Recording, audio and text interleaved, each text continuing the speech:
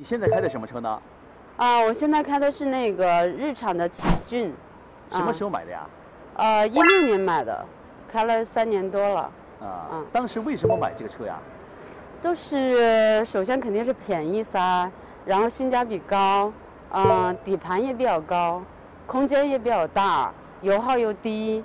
现在开了三年多时间，你觉得它好的地方是哪些呢？好的地方都是，反正朋友们坐车都觉得我这个空间大，出去耍的时候就是底盘比较高，游山玩水都不是什么问题，油耗也比较低，比较省钱，然后都是就是这种操控感比较爽。觉得它不好的地方有哪些呢？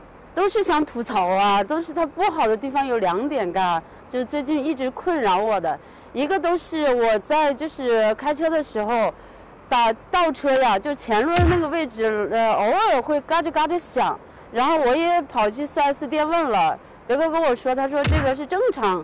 我都觉得莫名其妙的。我说，我说这个车本来很满意的，哪个会出现这种低级错误啊？另外一个都是呃 CVT 的这种操控，按理说很顺畅，但是我有时候开起来它都一揉一揉的，它很卡顿，就是不顺畅的时候也有。哎，都是这两个问题比较困扰我。